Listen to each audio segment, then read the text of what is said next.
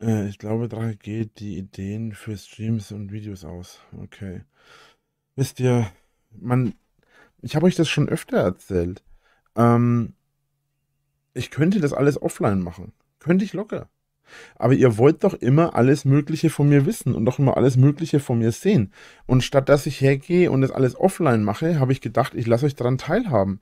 Den einen oder anderen interessiert vielleicht, ähm, wie sowas vonstatten geht oder wie man sowas macht. Aber dann mache ich halt in Zukunft einfach mal ein ganz kurzes Video, wo ich das alles mal ein bisschen zusammenfasse und dann hat sich das erledigt und dann braucht keiner mehr sich groß aufregen. Wisst ihr, äh, ich tue das für euch, ich will das für euch machen, ich will euch einen Gefallen tun, damit ihr ein bisschen Content habt, damit ihr ein bisschen was seht, wie das funktioniert, wie ich das so aufbaue, wie ich arbeite.